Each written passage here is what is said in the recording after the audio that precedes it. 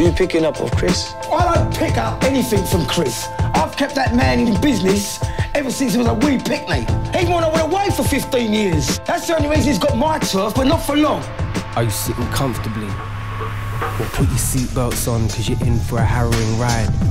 Because this is Ill Manors where darkness goes on at night. I am the narrator.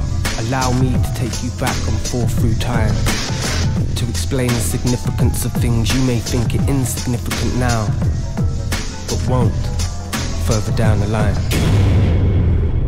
What's wrong with you? Can't understand English, son?